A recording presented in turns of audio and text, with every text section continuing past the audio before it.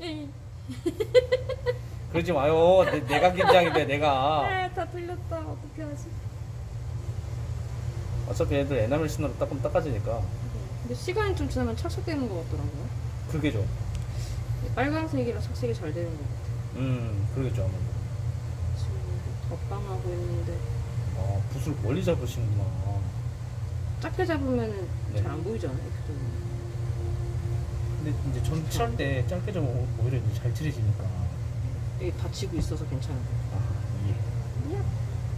근데 붓이 정말 붓이 네. 붓이 안 되고 버려요.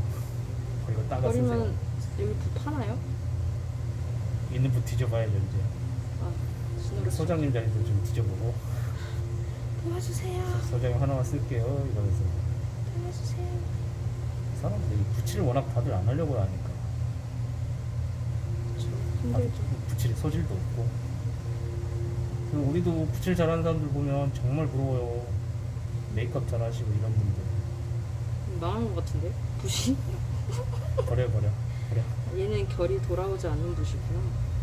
이 와식한 녀석이 맛이 갔네. 많이 나. 굳이 걔를 회생해서 음,